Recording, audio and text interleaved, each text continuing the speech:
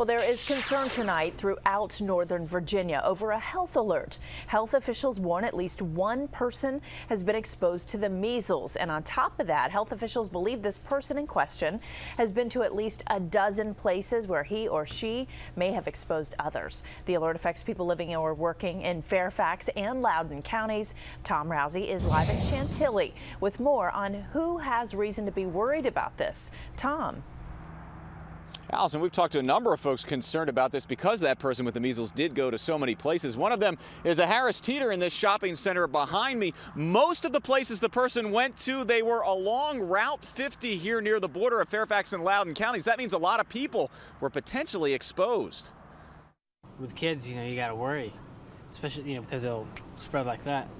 Randy Haddadine says he was warned by his daughter's daycare today about the possible measles exposure. His older daughter, Noor, has been vaccinated, but 17 month old Zen has not. That's about to change, however. We're taking care of it, so that's why we went ahead and. Uh, and got an appointment right away, so she tomorrow morning she'll get the shot. If you were not vaccinated, then you are susceptible to getting infected. And that's why we want people to be on the lookout.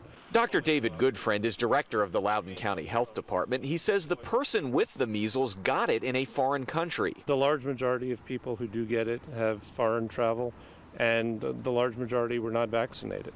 He says stage one of the measles involves high fever, a runny nose, and a cough. Stage two involves a rash over the entire body. Health officials say between April 23rd and May 1st, the person with measles went to a number of places in Fairfax and Loudoun counties, most in either Chantilly or South Riding. Everywhere from this medical center to a CVS to this Target where we talked with shoppers tonight. I got alarmed because it's so close.